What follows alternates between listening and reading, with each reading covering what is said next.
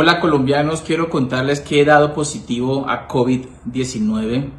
Hace unos pocos días empecé a sentir una presión en el pecho, unos leves síntomas de gripa y un fuerte zumbido en los oídos. Por recomendación de los médicos me he hecho la prueba y he dado positivo. Por el momento me encuentro muy bien de salud sin complicación alguna Estoy aislado en la ciudad de Bogotá, donde espero seguir desempeñando mi labor como senador de la República en la virtualidad hasta donde la salud me lo permita.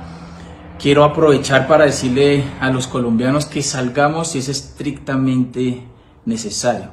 Trabajar desde la casa, estudiar desde la casa, porque miren las cifras, están aumentando exponencialmente a lo largo y ancho de nuestro país.